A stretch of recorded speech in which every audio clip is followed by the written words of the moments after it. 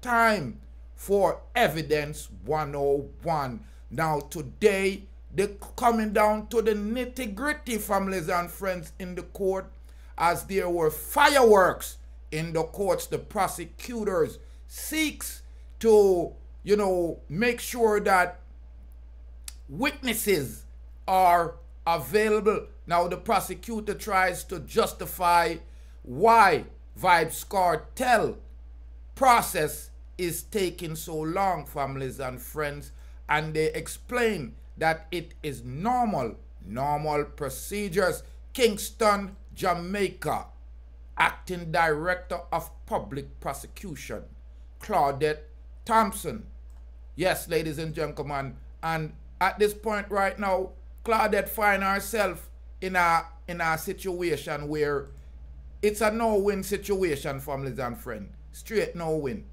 Right?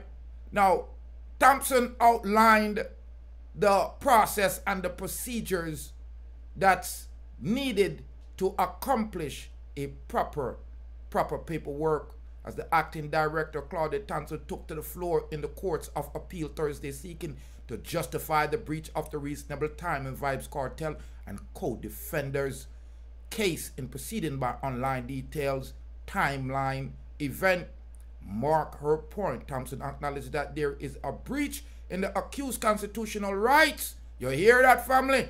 The acting deputy of prosecution, Claudia Thompson, admit there have been a breach in the accused constitutional rights to a fair channel with tri trial within a reasonable time, but argue that the breach is justified. Thompson outlined that September 2011, the 30th of September 2011 to the 3rd of April 2013, the arrest, charge, trial, conviction, and sentence of dancehall star Vybz Kartel, real name Adidja Palmer, Sean Campbell, aka Sean Storm, Kahira Jones, and Andre St. John, were conducted which she argued a reasonable time.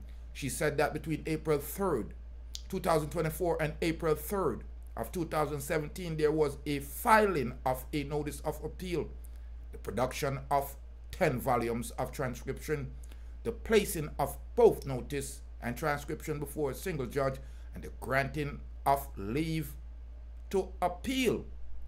Again, we are saying by any measure we are saying by any measure, this is reasonable time, Thompson said. Between April 3, 2017 and July 2018, the prosecutor said that there was a preparation of grounds of appeal and serving of grounds of appeal. Thompson further outlined that between July 24 of 2018 and April of 2020, two years later, there was a consideration of extensive grounds of appeal, the review of the law case site, and assessment completed.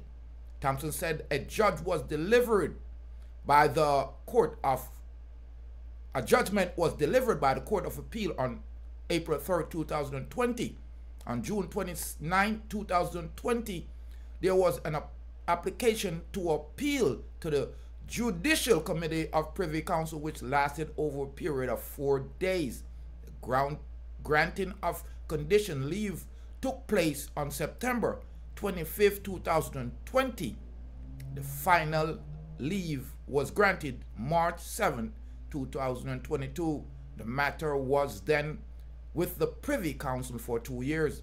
Justice Marva McDonald Bishop interjected stating what we want from the state is a justification as to why it took 10 years. There was a delay. The delay can be reasonably justified based on all activities that took place during the 10 year period.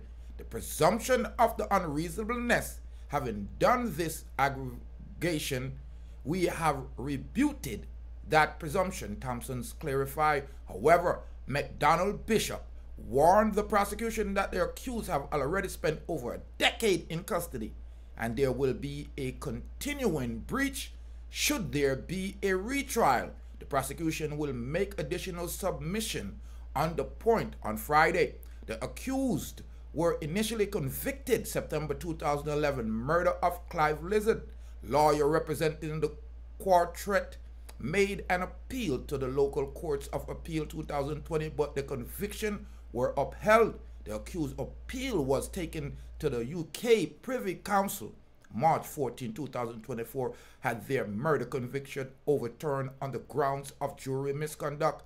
The Privy Council has also ordered the Jamaican Courts of Appeal to decide whether or not there should be a retrial. This retrial is continuing and it's expected to end on Friday. McDonald Bishop, along with Justice Paulette Williams and David Fraser, will decide